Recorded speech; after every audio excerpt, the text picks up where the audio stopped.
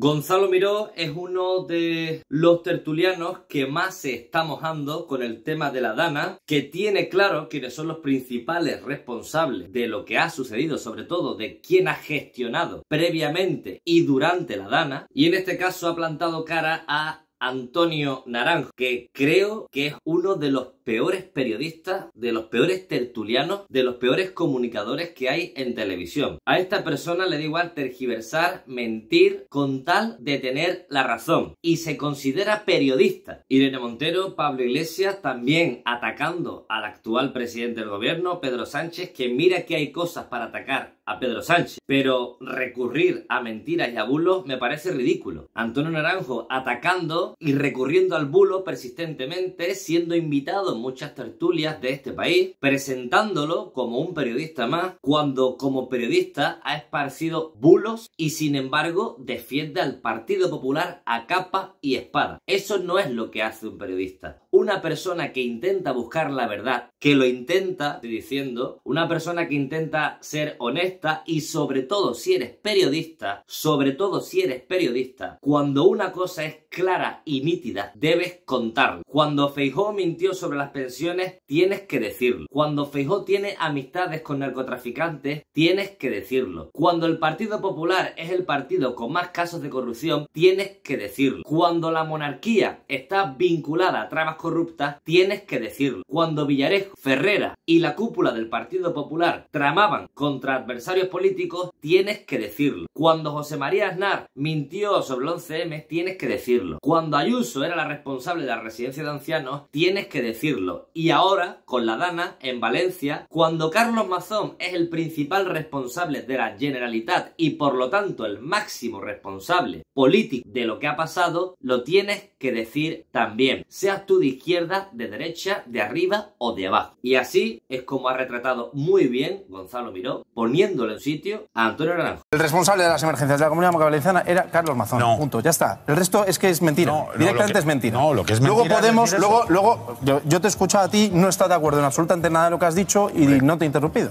Ya, pero es que Entonces- no estoy diciendo la verdad. Ya, no, es que tú no sueles decir la verdad y aquí estás normalmente hablando una cosa detrás me de parece otra. muy serio, hombre. ¿Me lo dices tú a mí, yo no te lo puedo decir a ti? No, yo pues, ¿Cómo va? lo voy a ¿Esto cómo rectificar. Creo que estás Ah, equivocado. vale, perfecto. Bueno, pues tú también yo te sueles equivocar y yo. Y yo de que yo y nunca digo por- la verdad. Tú también te sueles equivocar y no yo por eso te, faltan- inter- te interrumpo. Te faltan conocimientos y años para decirme tú a mí que yo nunca digo la verdad, Gonzalo. Te lo acabo de decir, favor- que tú también te sueles equivocar. Bueno, pero es y que yo este no te interrumpo. Yo no te, intentaba Decir- ayudar a decir- no equivocarte. Vale, decir, no hace falta que me ayudes. Yo, no, creo que sí. no, no hace falta que me ayudes. El responsable de emergencias de la comunidad valenciana ese día era Carlos Mazón. No. Te pongas tú como te pongas. No, si no me pongo yo. Como te se pongas. pone la Por Naranjo, cierto, vamos a dejar que termine Los protocolos, los protocolos existen. Lo que pasa es que tiene que haber alguien que los active. En este caso no fue él. Yo, eh, que escucho como una, con mucha atención a Manu, hay una cosa, Manu, en la que sí discrepo contigo. Y es que creo que sí hubieran cambiado las cosas si Mazón durante dos o tres horas antes le dice a la gente Supuesto que sí. la que va a caer. Porque hay una mentira que nos está intentando colar este tipo, que es que él no tenía las herramientas suficientes para avisar a la gente de lo que iba a pasar.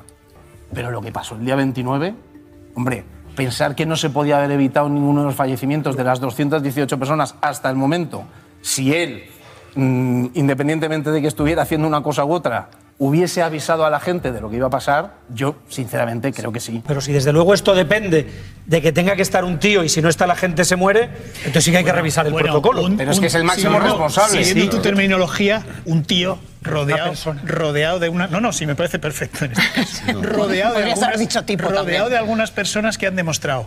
Una consejera, que era la responsable de emergencias, que dice que no sabe que existe esa alerta, a qué botón hay que dar, ¿vale? Otra consejera que en esos días insultó a los familiares de los muertos y de las víctimas y que yo sepa sigue en su cargo y todavía no ha sido destituida cuando tenía que haber sido destituida en el minuto siguiente a que dijera esas barbaridades. Parece mentira y los responsables de que la gente esté confusa, de que la gente esté confundida con respecto a quiénes son los responsables políticos de lo que ha pasado, es principalmente a gente como Antonio Naranjo, que intoxica cuando es tan fácil de ver cómo ir a las leyes leyes. Esto no lo he dicho yo, esto lo ha dicho hasta la UME, lo ha dicho la EMET y lo ha dicho órganos independientes. Y está recogido, repito, en las leyes. No es una opinión mía. Es algo verídico y que se puede comprobar de forma empírica. Da igual lo que diga Antonio Naranjo o Gonzalo Miró. PP en su estrategia política aquí en Bruselas daba igual que fuera Teresa Rivera que fuera Bob Esponja quien estuviera presentado para número dos de la Comisión Europea. Lo hubiera rechazado igual. Y entonces todo lo demás ha venido concatenado y a veces con un montón de contradicciones. Luego estamos hablando de la imputación quizás etérea de Teresa Rivera. Hombre, si le toca a un juez como Pero Peinado- el máximo responsable de la administración valenciana durante la Dana es Carlos Mazón. Pero es que aquí hemos criticado nos también, Silvia. Aquí hemos criticado también, No, pero quiero decir, yo el primero a está- Carlos Mazón. No, quiero decir, el Claro. que está al frente de, de la administración valenciana es Carlos Mazón. Eh, es un fracaso, en ese sentido, la estrategia que ideó Feijóo y que planteó, y no olvidemos, de repente, de repente, es decir, que esto no fue algo que viniera desde el primer día de la Dana, recordemos que pasó casi una semana, y de repente con la compañía de tres cabeceras periodísticas que hasta ese día ponían todos los focos en Mazón, de inmediato se giró a poner los focos en Teresa Rivera. Y además con esa condición, que a mí me parece tremenda, de decir, y si es imputada, que tendrá ahí- que ahí dimitir. ir. Es decir, la están No, pero- colocando ya en los tribunales, incluso hablando no del fraude de hidrocarburos, que es algo que en todo caso correspondería a industria. Es decir, es mezclar todos los, los elementos en una coctelera extraña que ha puesto en riesgo efectivamente el acuerdo para un gobierno europeo que era frágil y que pretendía evitar la entrada del extremismo. vamos. El principal responsable político de lo que ha pasado es Carlos Mazón y su gobierno. Y sí, Pedro Sánchez tiene parte de responsabilidad en el momento que Carlos Mazón días después no hace absolutamente nada por inepto y esa inacción sí que puede recaer en Pedro Sánchez. Pero el principal responsable de lo que ha pasado es este tío. Y punto. Y no hay que darle más vueltas. Lo que pasa es que necesitan de esos bulos para poder seguir en el poder. Si no, Carlos Mazón, ni Feijó, ni Ayuso podrían estar donde están. Si no es gracias a personajes como Iker Jiménez, como Antonio Naranjo, como Vicente Y esa es la verdad. Punto. No hay que darle más vueltas. Si hubiera más tertulianos de izquierda, si hubiera más tertulianos de derecha decentes, que no mintiesen, ya os digo yo que la historia sería totalmente distinta. La última persona en incorporarse al programa de Todo es Mentira, cosa que me sorprende, Mira, la mejor frase para definir todo lo que pasó con la ley del solo sí es sí nos la dijo un alto cargo del Partido Socialista, eh, y lo cuento en el libro que he escrito, en Algo Habremos Hecho, que le dijo a mi delegada, a la delegada de Gobierno contra la Violencia de Género, a Victoria Rosell, ya casi al final, le dijo, tenéis razón, pero esto no es derecho, es política. Eso le dijo. Esto no es derecho, es política.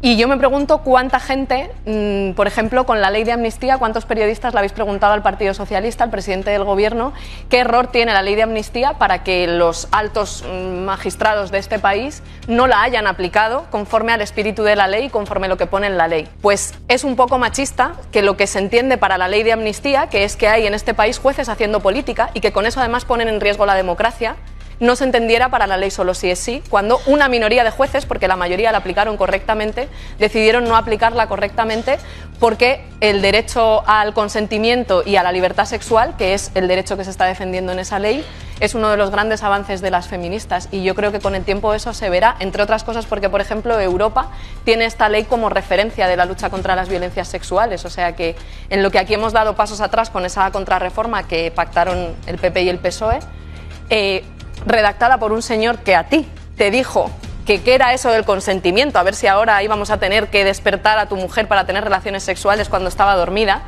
que tú mismo, ¿no? Que tampoco es que seas el gran representante del feminismo Oye, y te Pero- quedaste así.